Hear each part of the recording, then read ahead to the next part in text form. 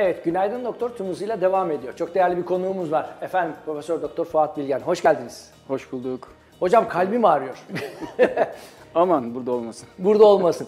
Kalple alakalı ben hep şunu söylüyorum. Yani tümörler, kanserler, trafik kazalar bir, şey, bir sürü şey biliyoruz, duyuyoruz ama e, ölüm yani bizim gerçekten ecele götüren o hani sebep sonuç ilişkilerinde en sık rastlanan Evet. koroner tıp değil mi? Koroner arter hastalığı maalesef hani günümüzde ölümlerin, kayıpların yani en sık sebebi oluşturan e, iki tablodan bir tanesi. İki tablodan bir tanesi. Çok sık e, sanki duyuyoruz. Genç yaşlarda da herhalde birazcık artık kalp krizi olasılıklara mı arttı yoksa algıda seçicilik mi arttı bilmiyorum ama Evet çok doğru tespit. Son zamanlarda gerçekten e, daha genç yaşlarda işte bizim ger- gerek ameliyat ettiğimiz gerek hani bu tür e, olaylarla karşımıza geldi hastaneye başvuran hastalarda e, bir artış var genç hastalarda. hocam çok bu doğru. hastaneye başvurma nedeni ne? Bir onlardan bahsedelim mi kısaca? Şimdi hastaneye başvurma e, basit. Yani kalp olduğunu hatta kondurulamayan şikayetlerden başlar.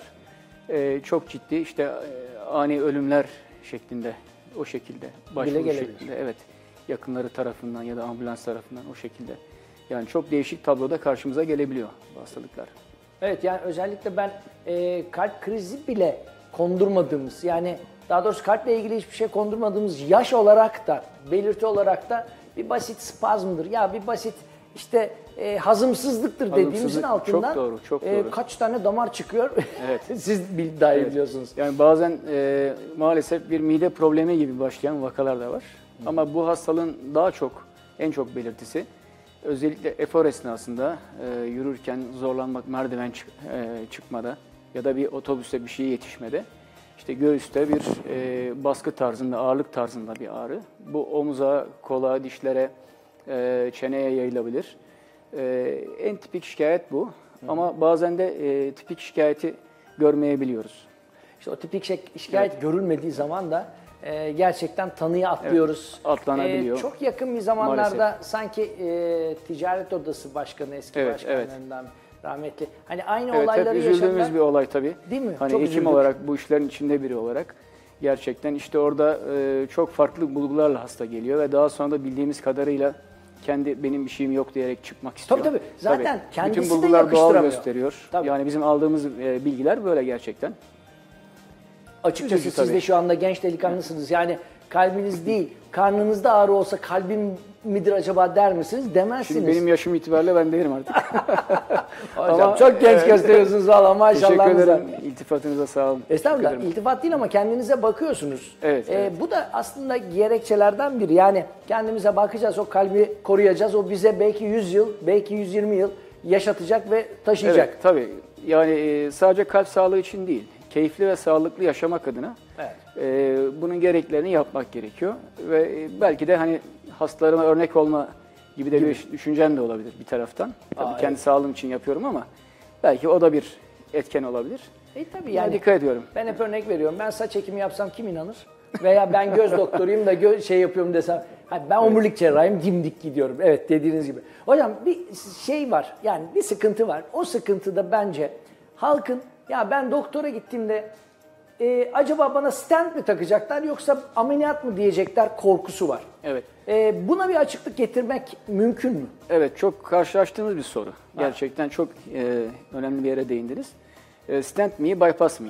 Birçok hasta böyle bir soruyla geliyor. Evet. Aslında bu yani şu iyi bu, bu iyi diye karşılaştırma yapmak yanlış. Bazı hallerde stentin çok endikasyonu olduğu, çok işe yaradığı ve en iyi tedavi olduğu durumlar var. Bazı durumlarda bypass cerrahisinin en iyi olduğu durumlar var. Yani bunun seçimi Evet. mutlaka tabii ki size Mutlaka tabii uzman doktorlar. Yani hasta çünkü kardiyolojiden genelde giriş yapıyor. Daha sonra e, birçok durumda konsey olarak da karar ver- veriliyor hangi tedaviye yönlendirileceği. E, şöyle iki tedavi arasında şöyle bir fark var. E, stent de genelde hastalık bölgesine müdahale ediliyor ve oraya değişik yani yüksek teknolojiyle yapılmış stent malzemesi, metal diyeyim daha doğrusu o tarzda malzemelerle olay bölgesine müdahale ediliyor. Müdahale ediliyor. Ama bypass'ta bütün o bölgeyle hiç işimiz olmuyor bizim. Ondan sonraki sağlıklı damarın sağlıklı kısmına vücudun diğer e, sağlıklı olan yani kan akışının sağlıklı olduğu damarları bağlantı yaparak o darlığı gideriyoruz. O darlığı aşıyoruz. Bu temelde bir tedavi farkı var. Bu tabii bu birinci stent olanı bazı hastalarda, bazı e, hallerde e, çok daha hasta için daha iyi. Ama bypass'ın da hasta için çok daha iyi olduğu ve en iyi tedavi olduğu birçok alan var. Bunları uzman hekime bırakmak gerekir. Evet, ben e, bir takım şeylerin hani kolayına kaçma e, düşüncesinden dolayı herhalde stenti daha biz yakın gördüğümüzü düşünüyorum ama Tabii hastaya ca- cazip geliyor. Cazip Çünkü geliyor. hasta iki gün sonra, bir gün sonra evine gidiyor. Bir iki ay iyileşme beklenmiyor. Hastaya cazip görünüyor ama burada hastanın da yani bu cazibeye kapılmadan yani hekimine benim için hangisi sağlıklı diye sorması, sorgulaması ve e, onu da istediğini doktoruna belirtmesi gerekiyor. hatta hatta bunu sadece kendi doktoruna değil, kendi doktoru bir kardiyologsa bir cerrahla görüş alışverişi yapması gerekir. Bir cerrahsa bir kardiyologla görüş alışverişi. Daha doğrusu siz bir ekip olarak çalışıyorsunuz sonuçta. Tabii ekip olarak çalışıyoruz. ekipte siz hepsine danışıyorsunuz. Doğru tabii danışıyoruz. Konsey olarak karar veriliyor. Yani Yalnız bunu hocam- zaten birçok hastanede bu hani birlikte değerlendirme sağlanmış oluyor. Evet. Ama hastanın bu şekilde bir yani soru işareti oluşursa hastada bunu dediğinizde yapabilir. Hmm. Evet. Yani Ben yanlış da değil tabii. Hep şey yani bypass'ta sonuçta bir iman tahtası var. Burası açılıyor. evet. Ee, ve orada kalbi durdurup damarları değiştiriyorsunuz.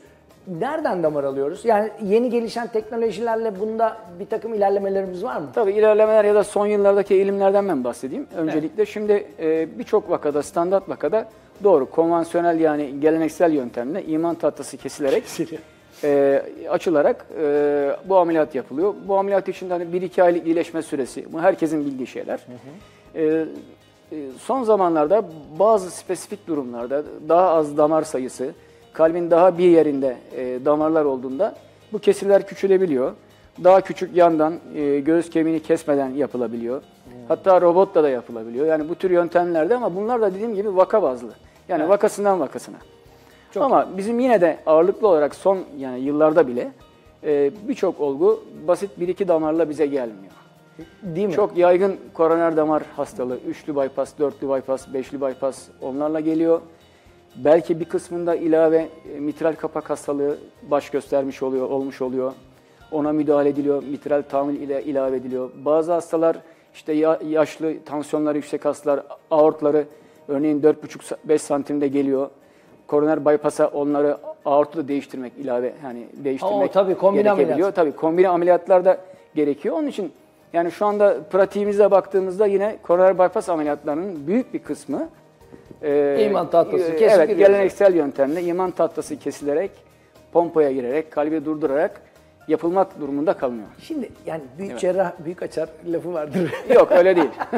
ben şeyi e, hep e, söylüyorum. Buradan izleyicilerim de belki hatırlarlar.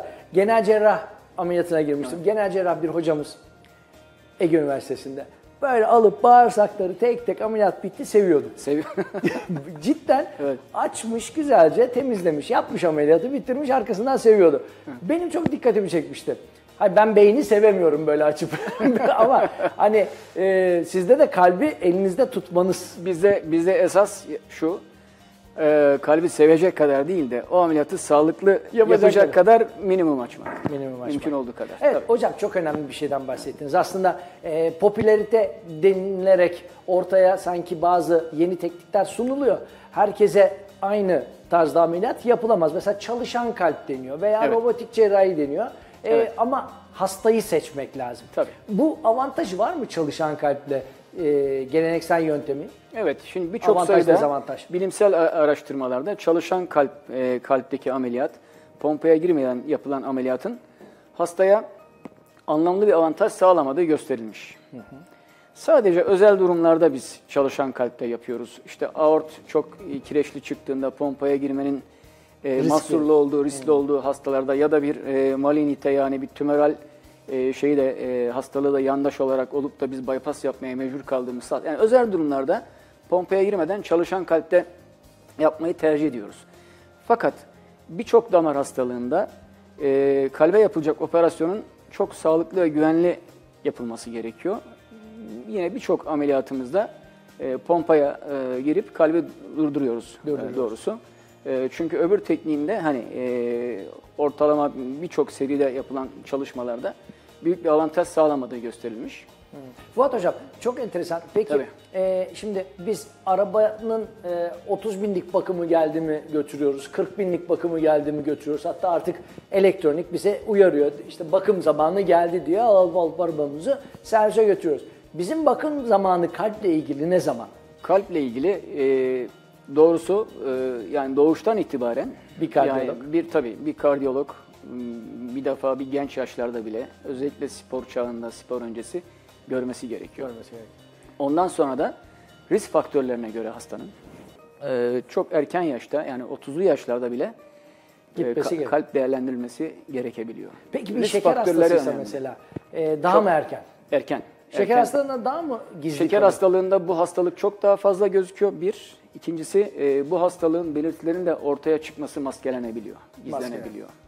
Evet ne kadar dikkat etmemiz gereken var. Bir de e, zaten iyi bir hava soluyamıyoruz. İstanbul'da Evet, yaşıyoruz. tabii. Kötü hava soladığımız için hani kötü alışkanlıklarımız olmasa bile zaten sanki e, sigara içmiş gibi ciğerlerimiz, damarlarımız Tabii, tabii, doluyor. evet. O yüzden de kontrol elden bırakmamak lazım. Bırakmanız gerekiyor. Hocam çok güzel bilgiler verdiniz. Gerçekten ağzınıza sağlık ama biz böyle tadı damağımızda kaldı. Evet. E, biz sizi hep Tekrar burada istiyoruz. Görüşmek üzere. Bir de e, son söylemek istediğim bir şey var. Hani son yıllarda koroner bypass cerrahisinde dikkat ettiğimiz ya da eğilimimiz yani o konuda da bir bilgi vereyim. Dediniz ya hani genç yaşta bu daha görülmeye Daha başlandı görülmeye ve çok genç hastalar tanı konup hani bizim bu ameliyatı e, ameliyat için bize başvuruyorlar. Burada bizim e, yaptığımız yani son yıllarda dikkat ettiğimiz noktalar e, özellikle genç hastalarda iki taraflı göğüs damarları kullanarak e, ayaktan ya da bilekten yani ekstra bir şeye Vermeden. e, evet e, çok mecbur kalmadan tabii mecbur kaldığımızda yetmediği yerde onu da kullanıyoruz ama e, işte bu iki taraflı göğüs damarıyla e, çoklu bypassı yani üçlü dörtlü hatta onları e, yani mümkün olduğu kadar e, yapmak. Evet. E, son yıllarda bu önemli hani şey olarak. Trend, e, değişik sizde trend, de evet, trend e, olarak. tabii. kozmetiğe yönelik bir Evet. takım çalışmalar olmuş. Efendim Profesör Doktor Fuat Bilgen bizlerleydi. Çok teşekkür ederiz. Sağ olun. Teşekkür ederim. Ee, Günaydın Doktor tüm hızıyla devam ediyor.